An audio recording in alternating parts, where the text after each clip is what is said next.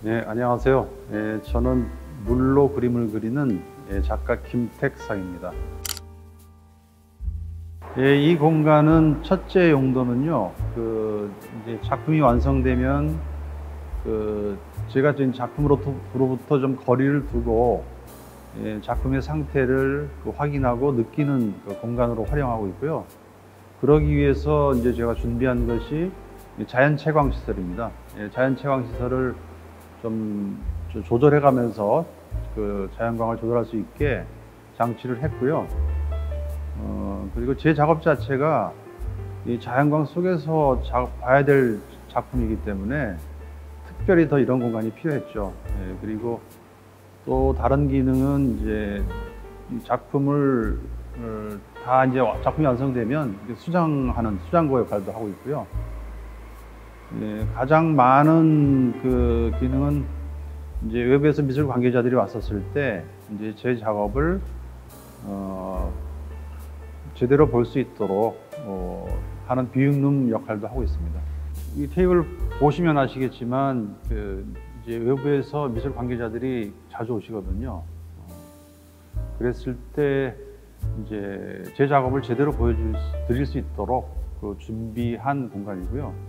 어, 이 공간 말고 또 하나의 공간이 있는데 그 공간은 그 작업을 제가 그 제작하는 공간이고 그 제작된 작업을 이 공간으로 가져와서 트리밍을 한다든지 아니면 프레임 작업을 한다든지 하는 그 작업을 이 공간에서 합니다.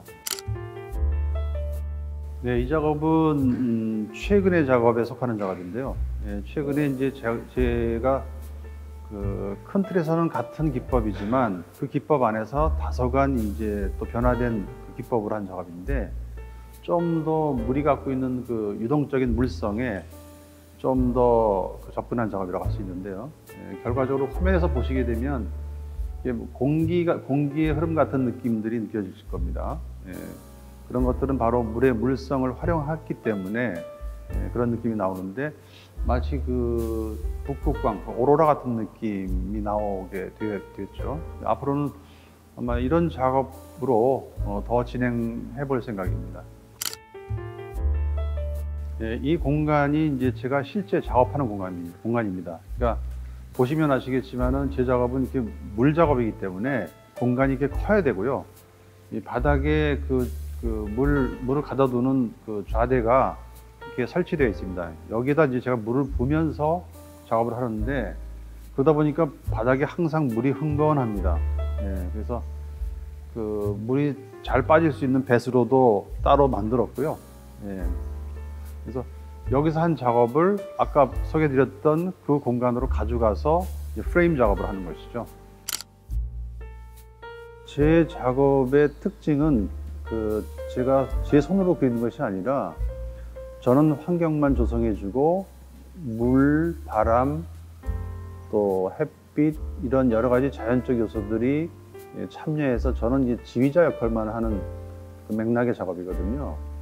어, 그렇기 때문에 항상 그 똑같은 적이 없습니다. 자연 자체가 한 번도 같은 적이 없기 때문에요. 예, 그래서 그, 그런 이제 제 작업을 그 제작하기 위해서 제가 고안해낸 그 물을 담아두는 담아둘 수 있는 좌대입니다. 이거는 좌대이고요.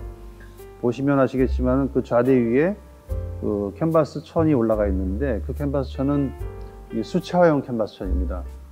어, 이 수채화형 캔버스 천은 그 있는지도 잘 모르시거든요. 대개 캔버스 천은 이제 유화형 캔버스 천만을 그 생각하시는데 저도 처음엔 잘 몰랐고요. 어, 이제 재료를 찾는 과정에서 이 수채화 천, 캔버스천이 존재한다는 것을 알게 됐고 지금은 한 다섯 여섯 종류의 캔버스 수채화용 캔버스천을 쓰고 있습니다. 뭐 재료가 다르면 결과도 항상 다르게 나옵니다. 어, 너무 당연한 것이지만요. 예, 예, 이 이제 그런 이제 제 작업의 프로세스상 꼭 필요한 좌대인데 이 좌대는 이렇게 기울기가 이렇게 만들어져 있어요. 어, 안쪽이 제일 깊고 바깥쪽이 좀 물의 깊이가 얕죠. 예, 따라서 어, 물을 이렇게 얇게 부어 놓으면 시간이 지나면서 중력에 의해서 이제 물, 그, 물, 그 안료가 이 가라앉게 되거든요. 그런데 가라앉는 두께가 자연스럽게 달라지게 되죠. 예, 물의 깊이를 다르게 했기 때문에 이것은 어, 자연 지형이 보여주는 느낌이기도 합니다. 예.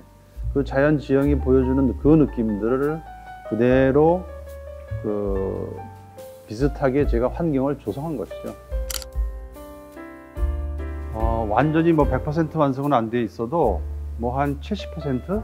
어, 이 정도 이제 완, 완성에 가까워진 작업이라고 할 수가 있어요. 근데 이제 그 언제 이 작업을 마무리할지는 저도 잘 모릅니다. 어, 그리고 완성이라고 제가 말씀은 드리고 있지만 실제 작업에 있어서 완성의 개념은 없거든요. 우리 삶이 삶에 있어서 완성의 개념이 없듯이 어, 지- 이제 그 시점이 오면 아, 이 정도면은 되겠다라고 했었을 때 제가 이제 그 마무리를 하고 프레임 작업을 하는데 그 이 작업은 그 아직은 그 프레임을 할 수 있는 단계는 아닙니다. 예. 근데 뭐 시시때때로 항상 달라, 달라 지기 때문에요. 제 마음에 따라서 예. 그렇게 말씀드릴 수 있을 것 같습니다. 여기까지 그 제 작업실 소개 말씀을 드렸고요. 어, 자세한 인터뷰 내용은 그 여성동화 11호로에서 예, 보실 수 있습니다. 네, 아, 감사합니다.